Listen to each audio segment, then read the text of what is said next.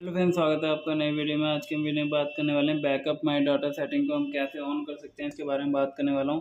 तो चलिए friends, video को शुरू करते हैं। वीडियो को शुरू करने से पहले अगर आप चैनल पर नए हैं तो चैनल को सब्सक्राइब और वीडियो को लाइक कर दीजिए। फ्रेंड जैसे कि आप देख सकते हैं, मेरे पास ये ओप्पो का फ़ोन है और आपको सबसे पहले क्या करना है, सेटिंग पर क्लिक करना है। तो क्लिक कर लेंगे। सेटिंग पर क्लिक करते ही आपको इस तरीके का आइकन शो करेगा। ये आप देख सकते हैं, इसको ऊपर की साइड स्क्रॉल करना है और एडिशनल सेटिंग पर जाना है। एडिशनल सेटिंग पर जाते ही आपको इस तरीके का आइकन शो करेगा। आपको इसको ऊपर की साइड स्क्रॉल करना है और यहाँ पर आप आएँगे तो आपको दिखा रहा है बैकअप एंड रिस्टोर तो इस पर हम क्लिक कर लेंगे।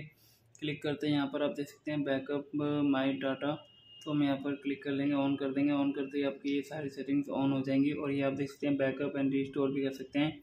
तो उम्मीद है फ्रेंड्स आपको वीडियो पसंद आएगी। वीडियो पसंद आए तो चैनल को सब्सक्राइब कर, वीडियो को लाइक कर दीजिए। मिलते हैं नेक्स्ट वीडियो में, तब तक के लिए नमस्कार। अगर आपको कोई भी जानकारी चाहिए पीसी से रिलेटेड या फिर फॉर्म से रिलेटेड तो आप हमें कमेंट भी कर सकते हैं।